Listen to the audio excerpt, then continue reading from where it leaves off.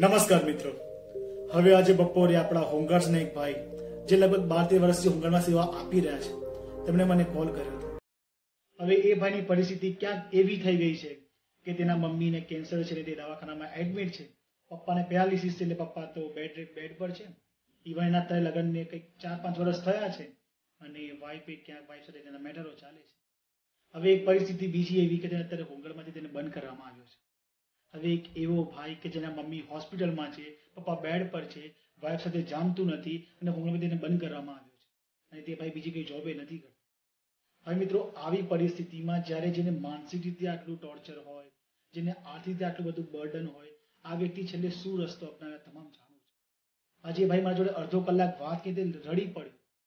તેને પુષ્કળ એવી વાતો કરી, ઘણી બધી જે સિસ્ટમ કામ પછી તેને ઉપર વાત કરી. અને તેની સાથે જે પક્ષપાત થાય છે તેના પર એ વાત કરી તેને શા માટે બંધ કરવામાં આવ્યો છે, એ વાત જાણીને ખરેખર દુઃખ થયું. એ ભાઈ ઘણી બધી વાર્તા કરી, ઘણી બધી વસ્તુ એને મને કીધી અને એના પછી આપણા જે સોર્સ ઓફ પર્સન છે તે જિલ્લાના જે કંઈક વ્યક્તિ આપણને ઓળખે છે, તેનો જે અધિકારી આપણને ઓળખે છે, તેની થોડી વાત વાત આપણે કરી અને ક્યાંક વચ્ચેનો નિકાલ લાવ્યા છે. પણ એક ખાસ એક વિચાર જેવી બાબત છે કે આવા વ્યક્તિ જે ખરેખર માનસિક રીતે ખૂબ તૂટી પડ્યા છે અને ભાઈ આજે મને કંઈક કહેતા હતા કે બીજી ભાઈ કંઈક એવું બને, કંઈક એવું બની શકે કે તમે કંઈક એક વીડિયો નાખો કે કોઈક આર્થિક રીતે મદદ કરો. સો એ ભાઈને પણ મેં જવાબ આપ્યો તો ઇવન અત્યારે હું ફરીથી વિડીયોમાં જવાબ આપું છું કે પહેલાથી જ આપણી હોમગાર્ડ આથી રીતે ખૂબ પડી ભાગી છે. આપણી હોમગાર્ડમાં એ જ લોકો આવે છે ખરેખર પૈસાની જરૂર છે. આ બાર હજાર બસો જે મળે છે ત્યાંથી એના ઘરનું પૂર્ણ નથી થતું, એ કેમ પ્રવર્ત થઈ શકે, કોઈ બીજાની મદદ કરી શકે? આપણા હોમગાર્ડ ભાઈ નિષદભાઈ સેવા કરવા માટે તત્પર છે જ અને કરે છે, પણ ક્યાંય જે એમાઉન્ટ એમને જરૂર છે. એ લગભગ હોમગાર્ડથી પહોંચી ન વળે એવું છે. એમને મેં અમુક માર્ગદર્શન આપ્યા જે વસ્તુ હું જાણું છું, એ તમામ વસ્તુ એમને કીધી કે તમે આ મુજબની આ વ્યક્તિને કોન્ટેક્ટ કરો, ક્યાંક તમારું કામ થઈ જશે. હવે અને ભાઈને જે બંધ કરવામાં આવ્યો છે, એ એ જે કારણ છે જાણીને ખરેખર થોડું દુઃખ થાય છે કે ક્યાંય જે અમુક જે એવું કહેવાય કે પોતપોતાના નીતિ નિયમો જે થોપી આપે છે હોમગાર્ડ્સ પર, ક્યાંક થોડા સમજવાની જરૂર છે. દરેક વ્યક્તિ હ્યુમન બી છે, દરેક વ્યક્તિ જો નિષ્ઠા સ્તરે જઈને વિચારશે, તો ક્યારે કોઈ હોમગાર્ડનું અહિત તો નહીં જ કરે.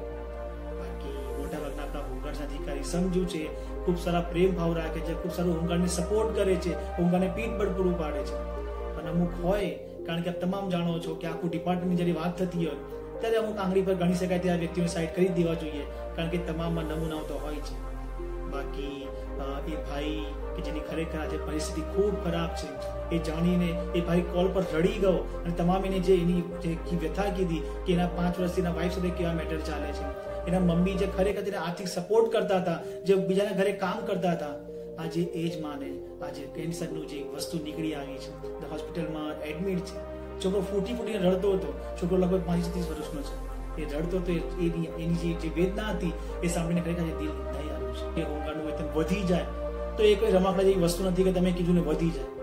એટલે એ સેકન્ડ થિંગ છે. પણ ક્યાંય મારા થોટ એવા છે કે હોમગાર્ડને એવા સોર્સ બતાવું કે એવી કંઈક રસ્તા બતાવો કે ત્યાંથી ખૂબ સારી રીતે પૈસા અર્ન કરી શકે. પણ એના માટે હોમગાર્ડ્સે ખાસ થોડી ઇન્ટરેસ્ટ આપવાની જરૂર છે. આપ તમામ પાસે જો સ્માર્ટફોન છે, તો આપ તમામ ઈચ્છો દર મહિના લગભગ પંદરથી વીસ હજાર તમે એક્સ્ટ્રા ઇન્કમ કમાવી શકો. તમારા તેવા આવડત છે જ. એમાં કંઈક વિશેષ એમાં એવું નથી કે રોકેટ સાયન્સ નથી કે વીસ હજાર કમાવા માટે તમારે બહુ એફર્ટ્સ લગાવવા પડે. પણ ક્યાંક તમને લેક ઓફ નોલેજ કહેવાય કે તમારામાં અમુક ઓછી સમજણના કારણે કે તમને બરાબર માર્ગદર્શન નથી મળતો, જેના કારણે ક્યાંક તમે પાછળ પડો છો. બાકી જો તમારી પાસે એક સ્માર્ટફોન હોય, તો તમે આ દુનિયા જીતી શકો તેવું છે બાકી આજે ભાઈની વેદના જે છે, ખરેખર જે દિલ રૂંધાઈ આવ્યું. અને ખરેખર જે લોકોની પરિસ્થિતિ છે, એ આપણે મતલબ મોડેથી ન કહી શકીએ, તેવા લોકો આજે પોતાના દિવસો પસાર કરી રહ્યા છે. જેટલે અધિકારી મારા વીડિયો જુએ છે આ તમામને બે હાથ જોઈને એક વિનંતી કરું છું કે ખાસ હોમગાર્ડની વેદનાને સમજજો.